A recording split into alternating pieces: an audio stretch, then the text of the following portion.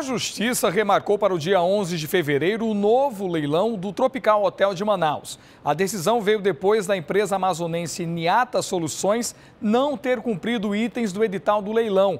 O Tropical Hotel está fechado desde maio do ano passado em função de uma dívida de mais de 20 milhões de reais com a concessionária Amazonas Energia. Em novembro do ano passado, a Niata depositou é, um calção de 5% do lance de 120 milhões, feito ao leiloeiro do Rio de Janeiro. Para o novo leilão, a Justiça estabeleceu um lance mínimo de 182 milhões de reais.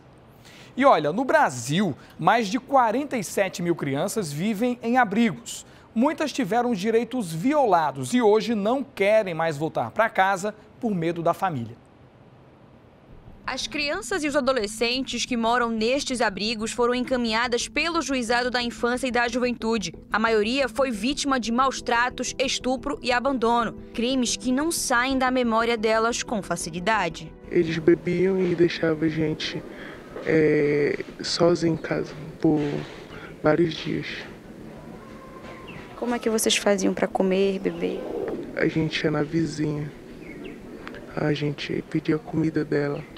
Nos abrigos, todas passam por um processo de ressocialização à família, que também recebe o atendimento psicossocial. O objetivo é trabalhar o psicológico das duas partes para que a criança ou o adolescente possa voltar a morar com a família. Mas muitas vezes, voltar para casa gera insegurança nas vítimas. Quando eles vêm visitar, dá vontade de voltar para casa ou não? Às vezes dá, mas às vezes não dá. Tem medo de que repita a história? Sim. Cerca de 47 mil crianças vivem em abrigos espalhados por todo o país. Todas tiveram seus direitos violados pela própria família. No abrigo provisório, elas têm a oportunidade de recomeçar ou até mesmo ter uma nova vida. Realmente, como se aqui ele fosse é, recomeçar a história, longe dos perigos, longe dos problemas que eles vinham enfrentando, né, uma vez que eles, como criança e adolescente, adolescente, não conseguem se defender. No Amazonas, mais de 100 crianças e adolescentes moram em 12 abrigos existentes na capital. Um deles é o Nascer, que há 20 anos oferece às vítimas acolhimento, assistência, proteção e cuidados com a saúde. Atualmente são 22 abrigados, dois acima do permitido por lei. Segundo a psicóloga da casa, um dos grandes desafios é mostrar às vítimas que voltar para casa biológica é importante. A criança, quando ela vem para o abrigo, ela muitas vezes ela chega angustiada, chega é, com medo, assustada com aquela situação. Aí, com o tempo, ela vai se adaptando.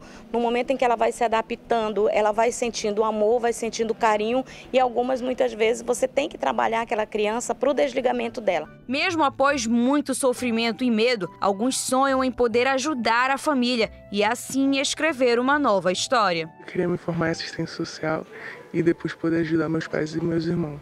Porque eu vejo que elas necessitam né, de uma ajuda e eu, como irmã, eu queria poder ajudar.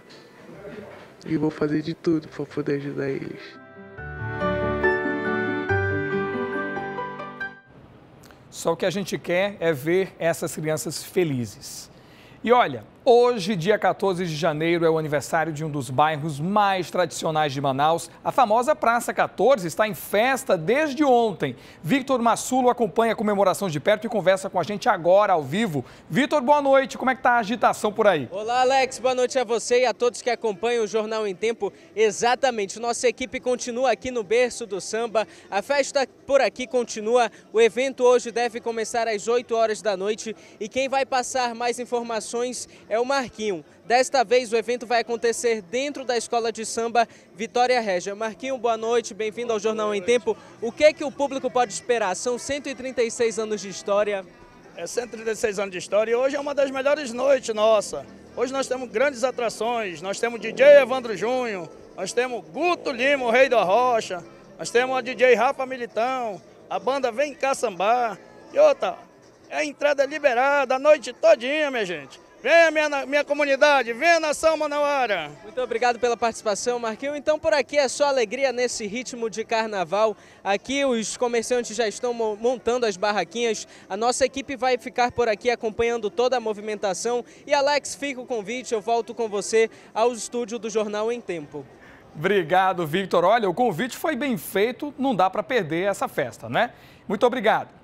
E, gente, esta edição do Jornal em Tempo fica por aqui. Você vai assistir agora o SBT Brasil. Boa noite, a gente se vê amanhã.